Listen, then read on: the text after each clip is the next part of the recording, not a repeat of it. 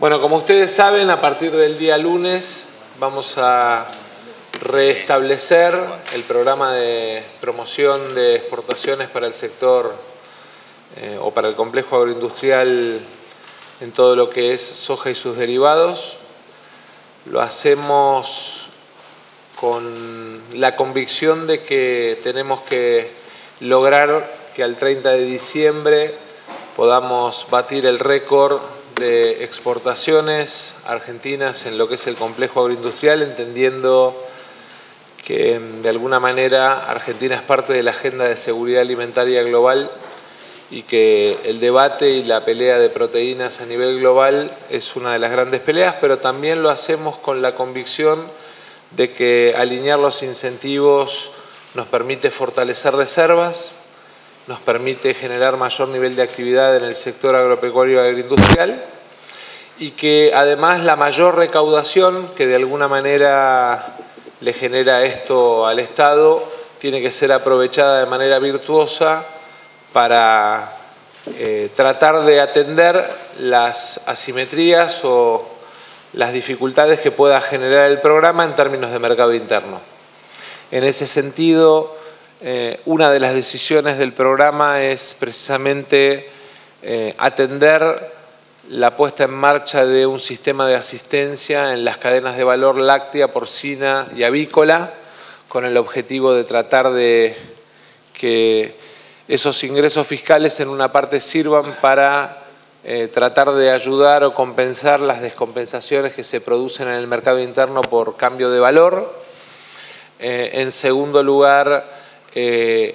tenemos el objetivo de que los mayores recursos que acumulemos en diciembre nos sirvan durante el mes de enero, febrero y marzo para encarar un programa de reducción de retenciones en las economías regionales a los efectos de hacer más competitivas las economías regionales en términos de exportaciones durante el primer trimestre del año. Vamos a usar parte de los recursos precisamente para generar un mecanismo de mayor impulso a las exportaciones eh, y mayor competitividad exportadora de las economías regionales. Y obviamente además eh, quiero contarles que si el programa funciona, eh, que entendemos que va a funcionar, nos puede permitir a nosotros avanzar en un esquema que siga garantizando algunas de las aplicaciones o prestaciones en materia social que llevamos adelante. Desde el punto de vista técnico, el día lunes va a salir publicado un DNU que pone en vigencia desde la publicación del decreto el programa con un valor de 230 pesos para lo que es el sistema de liquidación de CAM 9, o sea, el tipo de cambio eh, con el que vamos a poner en marcha este programa es de 230 pesos. Eh, de alguna manera vi números que salieron en los medios, todos andaban jugando con la moneda en el aire, me parece que es bueno darle certidumbre al productor. En ese sentido, obviamente, sabemos que el mercado es un mercado transparente, pero entendemos que la cuenta sobre lo que representa el precio de liquidación y el precio internacional va a jugar de alguna manera como variable, digamos, siempre en el marco de la oferta y la demanda. Eh, por otro lado, tenemos eh, el objetivo y el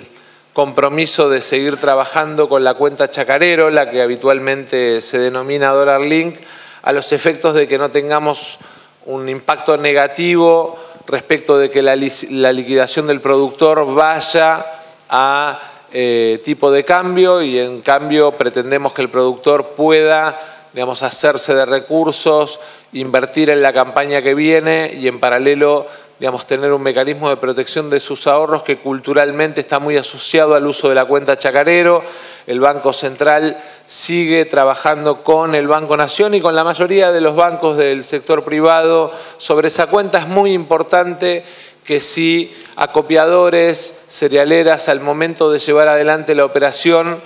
utilizan una cuenta chacarero como mecanismo de eh, transferencia o pago, de alguna manera le van a permitir al sector ya tener agilizado ese mecanismo. Y por otra parte, eh, también es importante aclarar que eh, el objetivo central del programa es que Argentina consolide su situación fiscal. Vamos a cerrar el año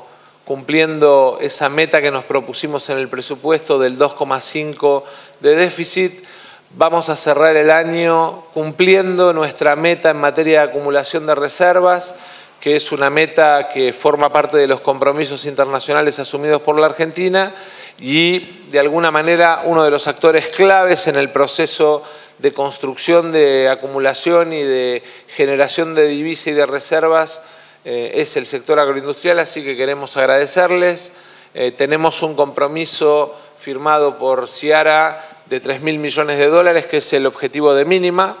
Aspiramos a que en el marco de la competencia, el esfuerzo, veo que Kofco sonríe, eh, vayamos hacia un poquito más. no quiero, digamos, ser ni optimista ni ni pesimista, quiero ser absolutamente realista. Lo que sí creo es que si tenemos un resultado muy bueno vamos a poder mostrarle al mundo que digamos, batimos todos los récords y cumplimos con nuestro compromiso en la Agenda de Seguridad Alimentaria Global, que tiene que ver centralmente con garantizar la eh, provisión de producción de proteínas de los países que integramos la Agenda de Seguridad Alimentaria. Así que quiero agradecerles como toda negociación con el sector, es una negociación áspera. Ustedes saben que volvimos a poner en marcha o volvemos a poner en marcha desde el lunes el premio que nosotros creemos que tiene que tener de manera virtuosa el sector, de que hay menor retención para lo que es exportación de harina y aceite, entendiendo que de alguna manera tenemos que promover la generación de valor, tenemos que promover el trabajo argentino y que el valor de una tonelada, digamos, que tiene mayor producción y trabajo local es venta de trabajo argentino y nos pone ya en el proceso industrial y no tanto en el proceso de venta del producto primarizado. Digamos, lo teníamos previsto a partir del 1 de enero con el vencimiento del decreto, tomamos la decisión de acelerarlo, entendiendo que nos puede ayudar inclusive a generar la cultura de promoción respecto de la proyección de inversiones ya para el 2023 digamos, apalancándolo a partir de ahora. Así que eh, no me queda más que agradecerles. Eh, siempre con ustedes la negociación es difícil, pero, pero bueno, una vez que termina la negociación, por suerte, ROFEX, Bolsa de Comercio de Rosario, Bolsa de Comercio de Bahía Blanca, arbitran de alguna manera para tratar de equilibrar las relaciones.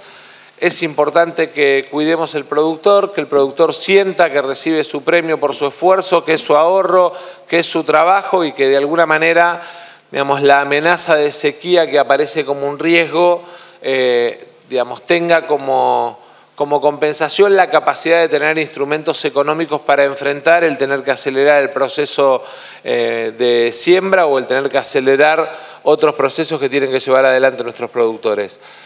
Eh, quiero agradecerles, eh, obviamente, y pedirles que de acá al 30 de diciembre trabajemos codo a codo, vayamos viendo los detalles donde puedan aparecer dificultades, como hicimos en el programa anterior, y entendamos que todos quienes estamos acá en esta mesa tenemos la responsabilidad de garantizar la presencia del campo argentino en el mundo, de garantizar el cumplimiento de los compromisos internacionales, de fortalecer nuestras reservas y además de generar digamos, movilización en un negocio que todos sabemos que es súper virtuoso y que es parte de la potencialidad competitiva de la Argentina a nivel global. Así que muchísimas gracias.